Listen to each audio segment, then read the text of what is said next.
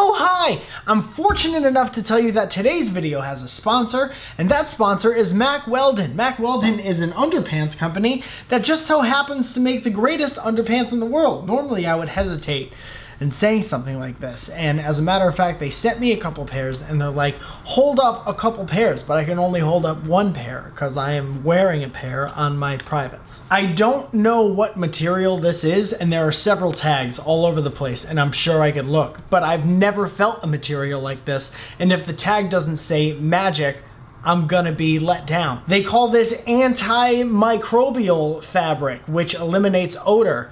And it's true, I straight up pooped in mine and like nothing. These people over here at Mr. Mack Weldon's house, they just want you to be comfortable. So they have this thing where if you don't like the first pair they send you, you could just keep them and keep them on your privates forever and they'll give you a full refund. So go to mackweldon.com, tell them I sent you. All this stuff will be in the description below. Uh, use the promo code FALZONE for 20% off and enjoy what you're about to see.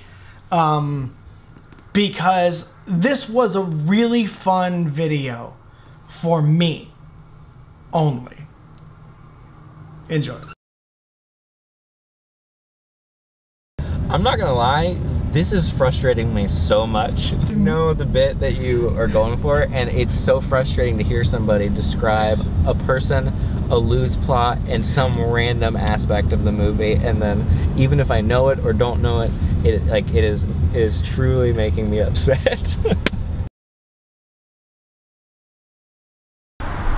Is that going? It's been a while since these walkie-talkie jobs. Will you shoot a video with me? mm-hmm. We'll do it in your car. Parking ticket, trash. You can't throw away parking tickets. When was the last time you went to the movies? What'd you say? I saw a screening of Deadpool. Oh, how was that? I loved it. Is that the one with the, he's like a super, Superman? He's a Marvel Superman? Because he looks just like Spider-Man, but he's not. Does he climb? Is he a climber? Uh, he is, uh, he's not like Spider-Man at all. Mm. What was that? Do you ever see that movie?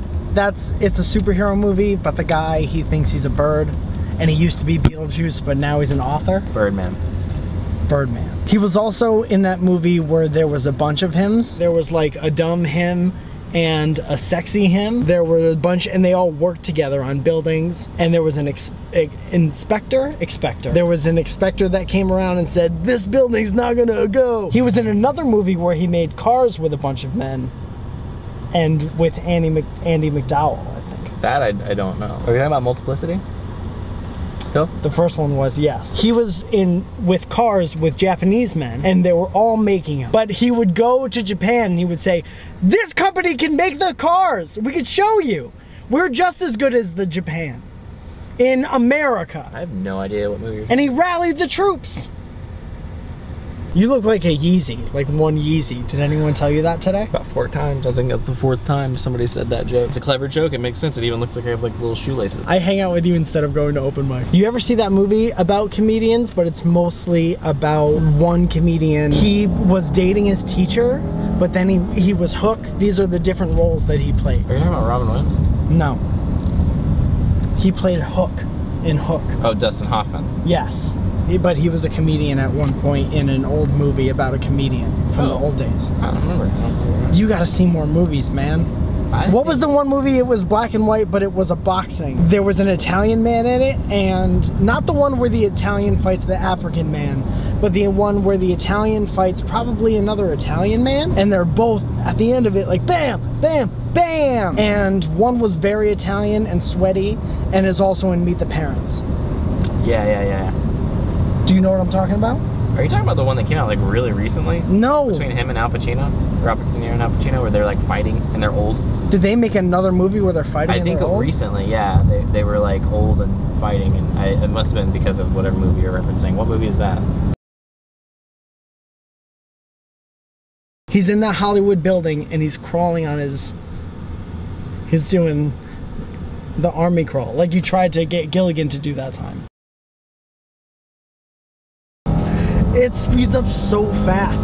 Oh, it's like that movie where they had to go back to 1986 and uh, Michael J. Fox was in Back it, and so was Back to the Future. Uncle Fester from the one movie about the family that they were, I don't know, dead. And there was just the hand. How do you survive with just the hand? Maybe his heart's in his wrist. He was his heart on his wrist.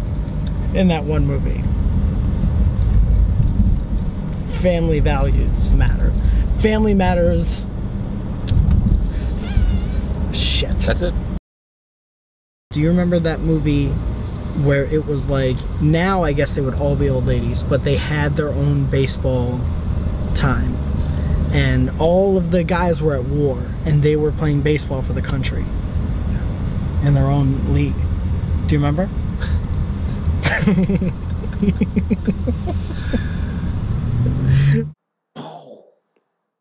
As a middle class white guy with a, in a suburban with a My Chemical Romance bumper sticker. That's where we're going, sweater. man. That's where we're headed, I think. I'm surprised it's not a Crazy Town sticker decal. Come, my lady, come, come, my lady. Hey, you're buying me alcohol right now.